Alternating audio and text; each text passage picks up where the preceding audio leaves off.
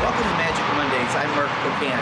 The American Society of Civil Engineers has given our nation's infrastructure a D plus grade, and I've been told that one out of every six bridges in this country is old enough to be eligible for Medicare.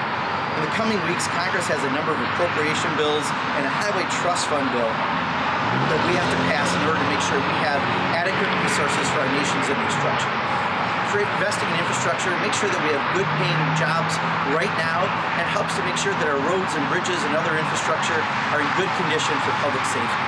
This isn't a Democratic or Republican issue. This is an American issue, and we need to invest in our infrastructure right now. You can't fund infrastructure without any dollars. And one of Congress's jobs is to make sure that we're providing the adequate funds to pay for our infrastructure because you can't provide infrastructure just with magic. Well, at least there's no bridge in here. That's Magic Monday. I hope you enjoyed it. We'll see you